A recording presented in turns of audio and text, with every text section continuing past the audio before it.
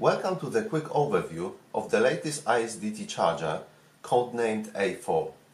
It's designed to charge all double and triple A sized cylindrical batteries and supports all chemistries available on the market, which are automatically detected by the charger. The unique selling point of the A4 is its size and weight, or lack of thereof, and also the fact it can be charged from any USB source. At 36 grams only, it makes a perfect travel charger that can be powered from a battery bank, for example. Apart from the charger itself, inside the box we also find a comprehensive user manual in English and Chinese, and also a micro USB charging cable. The A4 is made of plastic, but it doesn't feel cheap. On the contrary, is extremely well put together and as with other ISDT products, attention to details is excellent. On the front, we have a micro USB charging port here and there are some LEDs on the other side. And that's about it. There's really not much to talk about here in terms of design.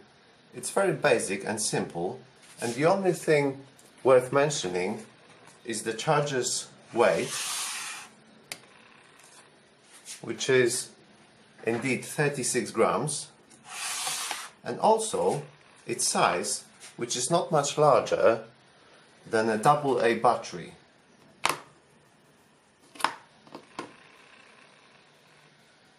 Quite impressive really.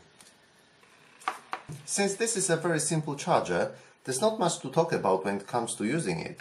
We simply insert our batteries and we can use any of the slots and we can use any combination of the batteries since the A4 has four individual and separate charging channels.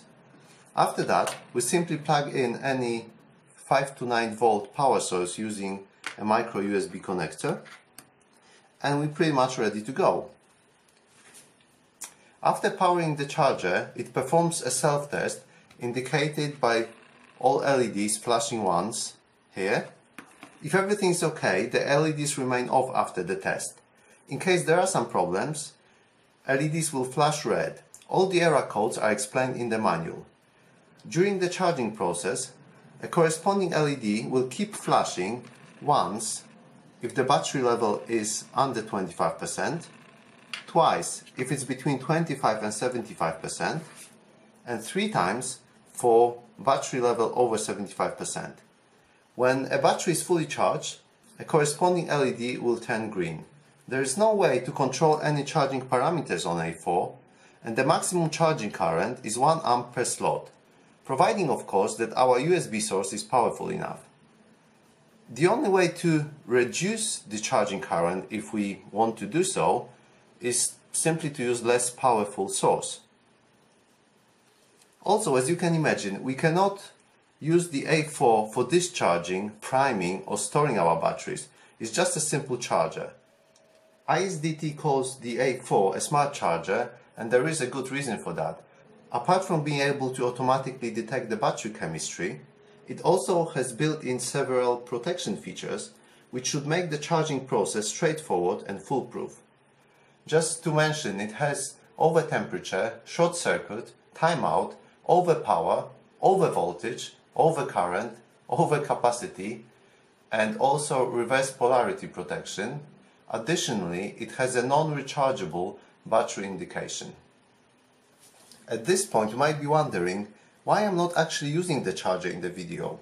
Well, that brings me to a bit of a warning. While testing the charger, I was trying to see if and how the reverse polarity protection works. First of all, it's impossible to charge a battery wrong way round since the plus contacts on the charger are slightly recessed. So if we insert the battery that way, it's simply not gonna work because there won't be any contact on this side. However, to test the feature properly, I've inserted a small metal plate between the minus side of the battery and plus contact here but unfortunately the A4 stopped working afterwards. I'm not sure if there's actually no reverse polarity protection here or if I was simply unlucky, but for the time being, I would strongly suggest try to avoid testing that feature as it might not work as intended and it's likely it will fry the charger. And this is pretty much everything I wanted to mention regarding the A4 in terms of the design, its features and operation. I also wanted to run a few performance tests to see the power draw when using different USB sources and charging different number of batteries at the same time. Unfortunately, I wasn't able to do it since the charger broke during my tests. As soon as I get a replacement, I will update this review. After using A4 for a few days, I must say that I like it a lot as a travel, portable or a car charger. Because of its size and weight, you can simply put it in your bag, a backpack or a pocket and won't even notice it's there. Typically for ISDT, the build quality and attention to details are excellent. One feature I'm missing here is a switch to limit the charging current while using quick charging or high power USB source.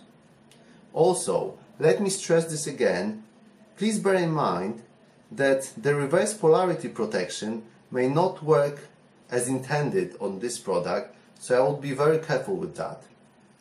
At the end, I think the A4 is a very interesting product and at $14 only, definitely worth considering if you're in the market for a truly portable double and AAA battery charger. I hope you enjoyed this quick overview of ISDT new product. If you have any questions, please leave a comment below. Thank you for watching.